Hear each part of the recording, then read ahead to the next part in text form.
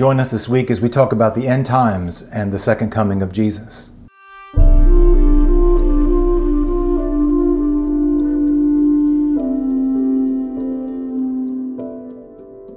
This week in the Gospel, Jesus talks about the second coming. The very last sentence of this Gospel says that no one, not even the Son, knows the day or the hour, but only the Father. Our readings this week and as we approach the end of a liturgical year become very apocalyptic. We start to focus on the final things, the second coming of our Lord Jesus. So, in one sense, we need to relax.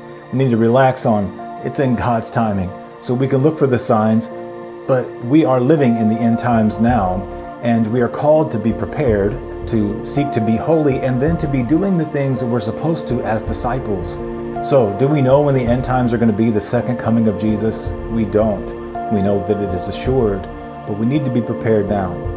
Praying every day, guarding our hearts, and then getting out there and doing what it is that God has specifically called you to do with your life. Be prepared.